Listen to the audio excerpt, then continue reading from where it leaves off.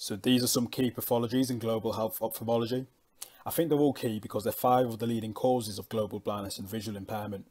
You may appreciate as we go through that some of these conditions have little impact in high income countries and all of the blindness that they cause can be prevented through quite simple measures. I found it useful to group them into preventable disease and reversible disease. In preventable disease, there's onchocerciasis, xerophthalmia and trachoma. All of these diseases are easily preventable through measures like adequate nutrition, good personal hygiene and insecticides.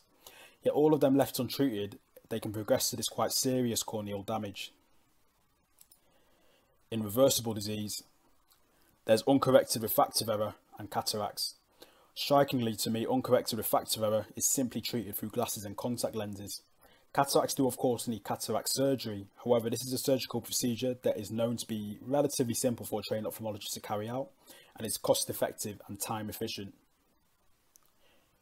So that concludes just five key pathologies in global health ophthalmology and just to reiterate the point, despite some quite simple measures, they are still five of the leading causes of global blindness and visual impairment.